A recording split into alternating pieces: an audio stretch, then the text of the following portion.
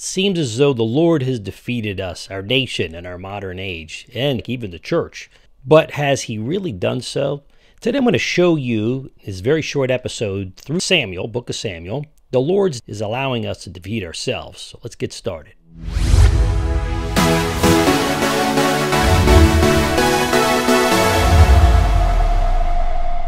Everybody, welcome back to Reason for Truth. This is Reason for Truth, but the truth comes first, always. The reasons come last, but we're always and constantly learning because we stop learning, we stop teaching, or at least stop teaching well. Listen, looking at Scripture, and when the people came to the camp, the elders of Israel said, Why has the Lord defeated us today before the Philistines? Let us bring the ark of the covenant of the Lord here from Shiloh that it may come among us and save us from the power of our enemies. 1 Samuel 4 3. Now, I want to just put a little caveat on here. Notice how they, they didn't say God would save us, they said the ark would. There, there was like superstition. The ark symbolizes the presence of God, but the Israelites used it to super, supernaturally, kind of a supernatural way by placing their faith in the ark rather than in God Himself, as I said.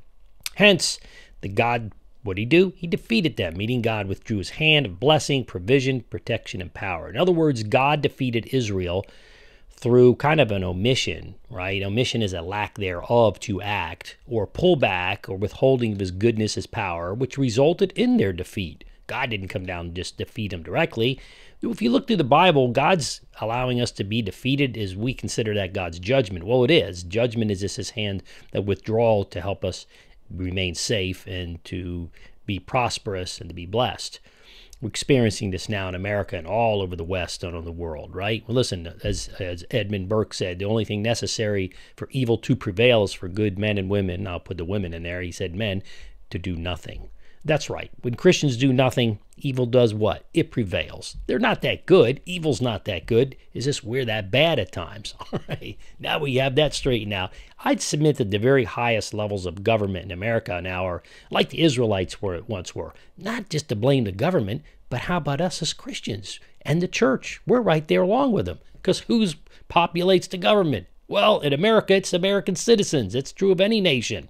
We trust in our modern technology and powerful weapons of war, while at the same time placing our faith in those machines as opposed to God, who gave us those machines, the intelligence to build those machines. We didn't in- invent everything, we just discovered it. And as a result, at some point, our modern Ark of the Covenant, not the same thing speaking biblically here, will fail.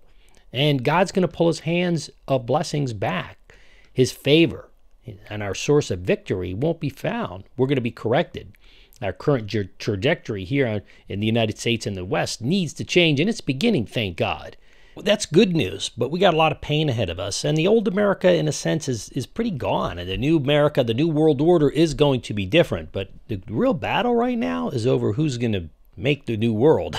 that's the question. We have to think as Christians, we got to step up. Say, well, I don't want to get involved with politics. Well, you better or you have no complaint against who governs you because it's politics, right? If that sounds anti or non patriotic, by the way, of what I'm talking about today, it's because I see truth as God first and country is second. I just do. And in the end, it's it's on us as the body of Christ to make, you know, the real impact. Certainly America was founded on that. No getting away from that. You take Christ, you take Christianity out of the centerpiece of America, you no longer have America. You have something else. In reality, the Lord's defeating us simply reflects his allowing us to defeat ourselves through the withdrawal of his hand of blessing, provision, and protection. Listen, we as Christians can turn the world around according to God and with his strength and power and will if and only if we seek his word, seek to live out in action and word his ways, to be bold, to be courageous, with love and truth, meekness and kindness, but still firmness, and pray for his hand of blessing to once again protect bless, prosper, and make us a centerpiece as the body of Christ, I'd say at this point, for the world. Listen, I hope this has encouraged you, hope it's invigorated you to make some changes in thinking or actions. But that's the key for today. Let's get in God's Word. Thank you for tuning in. I want to invite you be part of my community. I write about three articles, devotions a week.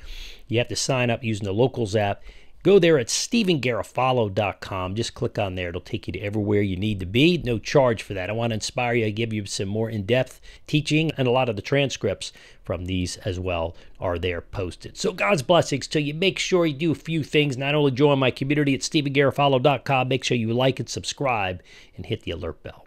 That's going to help us get the algorithms up, spread the word of God more listen more widely, more deeply throughout the whole earth. We don't monetize this channel. And until next time, I'm your host, Stevie Garofalo. This is your reason for truth for today.